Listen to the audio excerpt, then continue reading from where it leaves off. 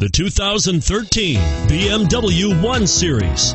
Even though the BMW 1 Series is the company's least expensive model, it is hardly an underperforming model and is priced below $40,000. This vehicle has less than 2,000 miles. Here are some of this vehicle's great options. Traction control, power passenger seat, power driver seat, power steering, driver airbag, front air conditioning, side airbag, Bluetooth, anti theft security system, cruise control.